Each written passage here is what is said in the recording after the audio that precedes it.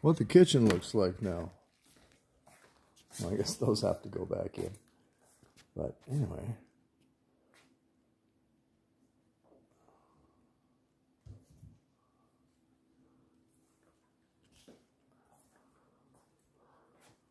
Gonna put the faucet in. Should be fine. That's the sink.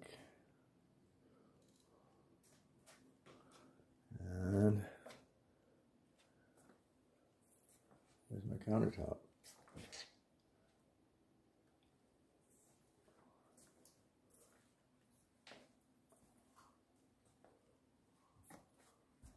That's about it.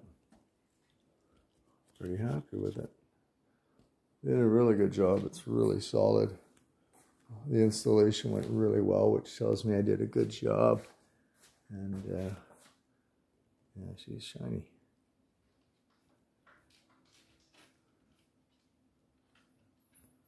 Happy with it. For sure, for sure.